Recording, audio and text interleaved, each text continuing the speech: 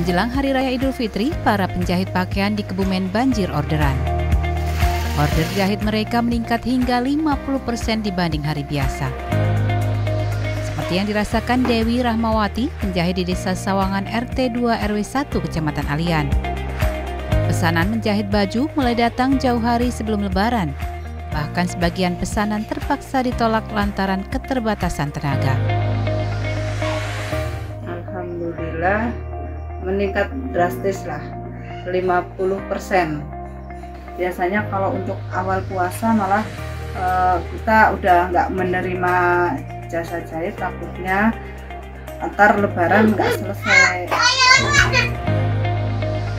Dewi menjelaskan kebanyakan pelanggan memesan pakaian bernuansa muslim untuk digunakan di hari lebaran nanti. Tidak sedikit pula para pelanggan memesan untuk satu set seragam keluarga.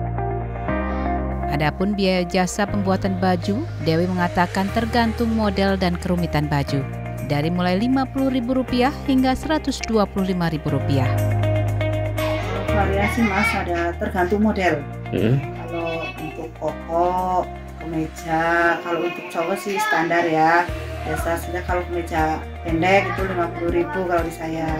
Kalau panjang sekitar 75 uh, terus ada yang kan pakai furing pakai daleman ada yang enggak yaitu tinggal tambah furing. Dari Alian tim liputan Rati TV memberitakan